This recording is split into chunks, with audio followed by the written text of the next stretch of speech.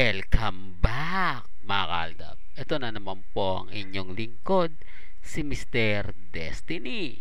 At magbibigay na naman po tayo ng pinakamainit na update nga po ngayon sa social media mga kaaldab. Ito yung pinaka-latest at sariwang update po mga kaaldab na kung saan ay nababash nga po talaga ng gusto si Richard Paul Kerson Jr. Totoo to mga kaaldab. Grabe yung pambabash, yung below the belt na na paninira kaya yung mga Alden fanatics nakakaramdam na na hindi nga po talaga maganda yung mga sinasabi at yung mga ginagawa nga po mga kaaldab na natatawa lang po ako. Pero syempre wala po tayo sa posisyon mga kaaldab para ipilit yan. Ang sa akin lang eh gusto ko maging updated po kayo sa mga kaganapan po ngayon sa social media. Bagamat maraming mabibigat na issue eh okay lang yan at least pinanindigan pa naman po ni Richard Paul Kerson na kumbaga masaya pa rin po tayo. Hindi po tayo binasag. Kaya ako to pinakita tong video na to para lang po sa mga main fanatic sa mga army. Sino nga po ba talaga ang totoong bading sa kanila? Di po ba? Sino nga po ba talaga yung totoong may kulay berde ang dugo mga kaaldab na katulad nga po ni Ma'am Alan Kay Di po ba? Common sense na lang po ah.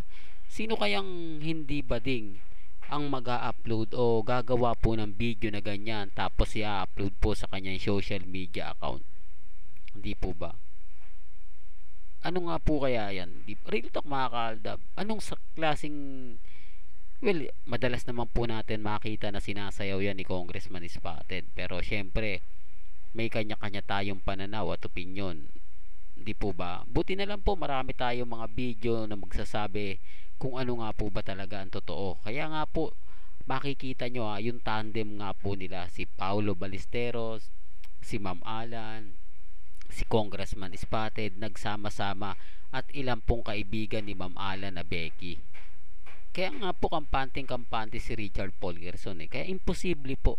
Kasi darating din po yung point na magsasalita rin po si Enchong D Di po ba? Hindi lang po muna siyempre sa ngayon dahil alam naman po natin na kumukuha pa rin po yan ng alam nyo na mga kaaldab. At kung ako ha, tatanungin nyo doon pa lang sa mga sinabi na ni Ibyang eh alam nyo na kung ano nga po ba yung katotohanan kay Congressman Spotted na never na po ito magbabago kasi kumbaga binata na eh. Di po ba?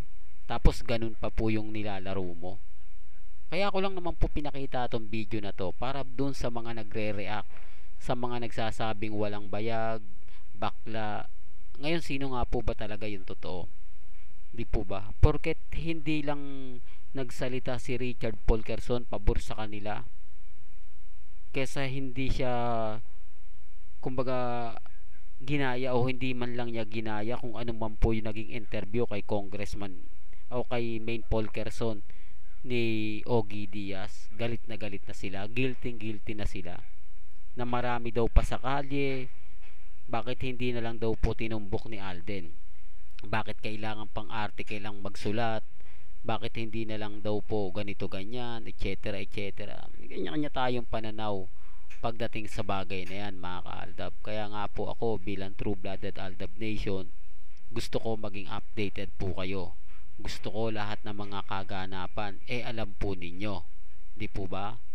Kasi batiko sila ng batikos. Siyempre damay po tayo dyan. Lalo na po ngayon yung mga Alden fanatics na galit na galit.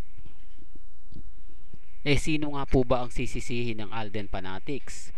Siyempre Aldab. Kasi tayo po yung nagpush eh. Kumbaga parang simula nga po ng pumunta si Alden sa event ng Aldab nagsimula ng ganon na binas ng gusto di po ba? Hindi naman masabi ni ng Alden fanatics na ganito ganyan ang mga main fanatics sa Tarmin Alden po talaga kasi tayo naman po yung nagpo-push.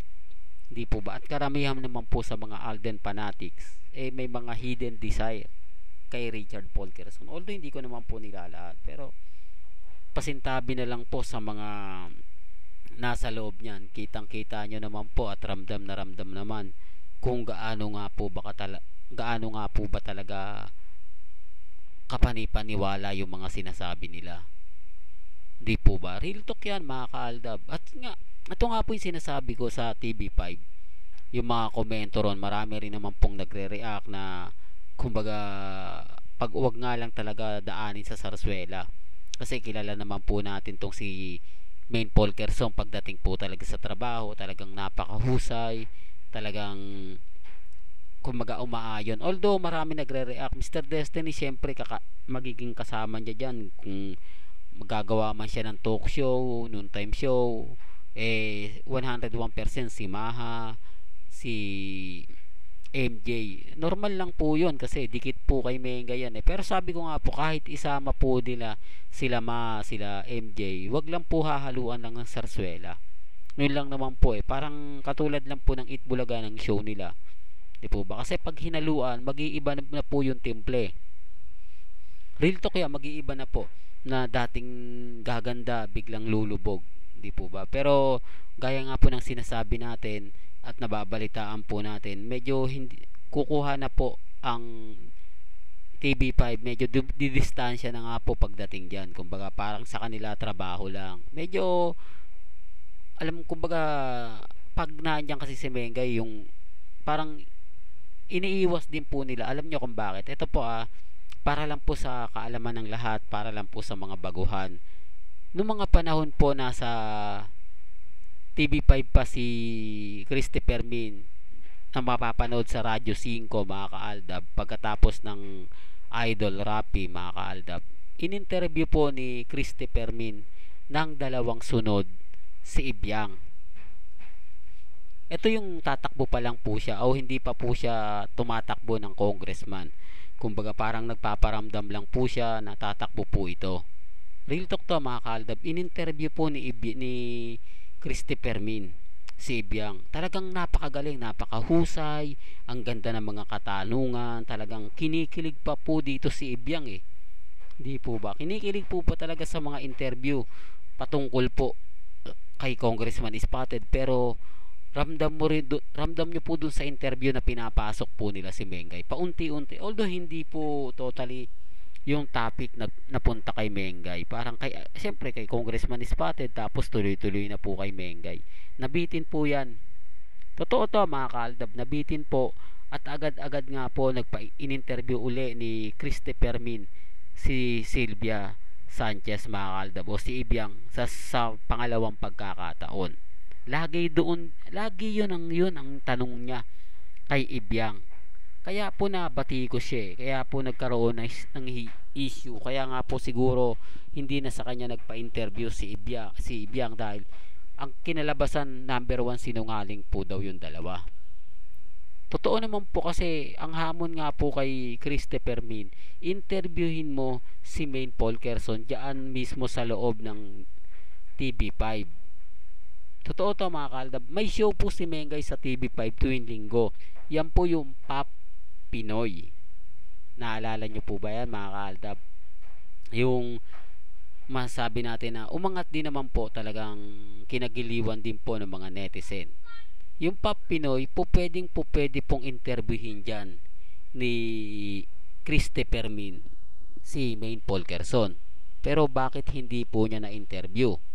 Bakit totally na talagang yung masabi mo na kahit singit lang po ng 30 minutes real talk to pero hindi po nagawa hindi po ito nagawa ni ano ni Christopher Min tanging si MJ Mapori lang po ang nakalapit at nakapa naka-interview kay Main Paul Kerson pero ito nga po yung sinasabi ko na hindi nga po pinasukan ng Sarsuela kahit na interview po ni MJ, never po nagtanong si MJ kay Congressman Spotted. Real talk yan mga kaaldab.